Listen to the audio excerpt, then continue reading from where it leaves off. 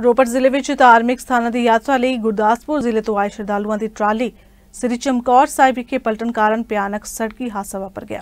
ਇਸ ਕਾਰਨ ਟਰਾਲੀ ਵਿੱਚ ਸਵਾਰ ਇੱਕ ਸ਼ਰਧਾਲੂ ਦੀ ਮੌਕੇ ਤੇ ਹੀ ਮੌਤ ਹੋ ਗਈ, ਜਦੋਂ ਕਿ 6 ਹੋਰ ਗੰਭੀਰ ਰੂਪ ਵਿੱਚ ਜ਼ਖਮੀ ਦੱਸੇ ਜਾ ਰਹੇ ਨੇ, ਜਿਨ੍ਹਾਂ ਨੂੰ ਕਿ ਹਸਪਤਾਲ ਵਿੱਚ ਇਲਾਜ ਲਈ ਭਰਤੀ ਕਰਾਇਆ ਗਿਆ ਇਸ ਸੰਬੰਧੀ ਜਾਣਕਾਰੀ ਦਿੰਦੇ ਹੋਏ ਪੁਲਿਸ ਅਧਿਕਾਰੀ ਨੇ ਦੱਸਿਆ ਕਿ ਗੁਰਦਾਸਪੁਰ ਜ਼ਿਲ੍ਹੇ ਤੋਂ ਆਏ ਇਹ ਸ਼ਰਧਾਲੂ ਸ੍ਰੀ ਅਨੰਦਪੁਰ ਸਾਹਿਬ ਹੋਲਾ ਮਹੱਲਾ ਤੇ ਮੱਥਾ ਟੇਕਣ ਤੋਂ ਬਾਅਦ ਸ੍ਰੀ ਚਮਕੌਰ ਸਾਹਿਬ ਵਿੱਚ ਧਾਰਮਿਕ ਯਾਤਰਾ ਕਰ ਰਹੇ ਸਨ ਤਾਂ ਸ੍ਰੀ ਚਮਕੌਰ ਸਾਹਿਬ ਵਿੱਚ